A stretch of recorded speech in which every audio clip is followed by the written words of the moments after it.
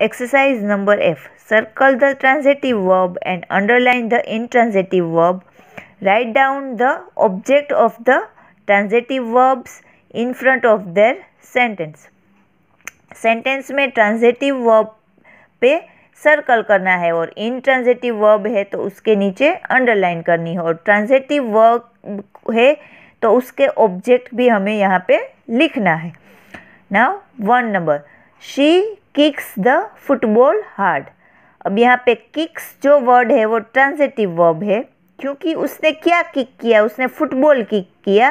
That means football है वो उसका ऑब्जेक्ट है। तो ये पूरा ट्रांजेटिव वर्ब है किक है वो किक्स और उसके सामने उसका ऑब्जेक्ट हमें लिखना है तो यहाँ पे हमने लिखा है football now two number the lady drives well अब यहाँ पे ड्राइव्स वर्ड है, वो इनट्रांजिटिव वर्ब है।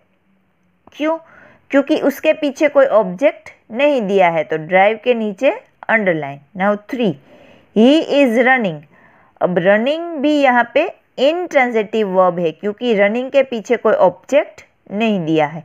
Now four they joined the group यहाँ पे ज्वाइंट दो, जो वर्ड है, वो ट्रांजिटिव वर्ब है. क्यों? क्योंकि यहाँ उसमें ऑब्जेक्ट दिया है पीछे. ग्रुप है, वो ऑब्जेक्ट है. उसने क्या ज्वाइन किया? ग्रुप को ज्वाइन किया।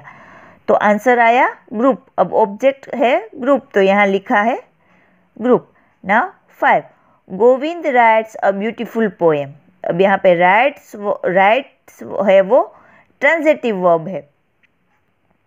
तो उसके ऊपर सर्कल आया और उसने क्या राइट किया? पोएम पोएम उसका ऑब्जेक्ट है, इसलिए यहाँ पे लिखा है poem now rest of all is your homework